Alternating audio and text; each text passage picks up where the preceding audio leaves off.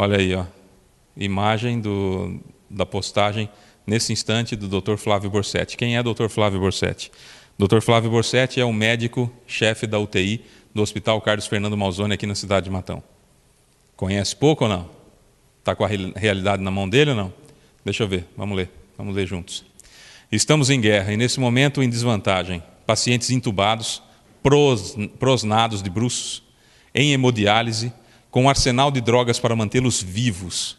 Pacientes jovens, idosos, meia-idade, pacientes com comorbidades e também previamente saudáveis, pais, mães, avós, filhos e filhas, UTI lotada e esgotada em seus recursos.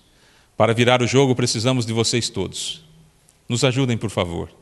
Lembre-se que, se a situação assim permanecer, pessoas amadas por vocês correm o risco de morrer sem assistência. Nunca precisamos tanto da colaboração da sociedade como agora. A segunda foto reflete o que o Covid-19 pode fazer com seus pulmões.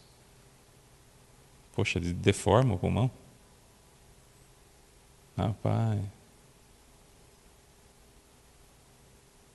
Que é a foto da direita aí.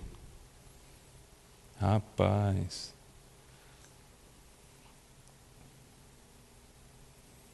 Entenderam minha indignação?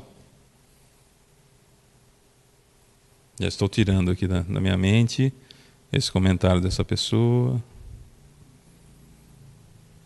Diante disso, obrigado, Dr. Flávio Borsetti, obrigado, Gisele.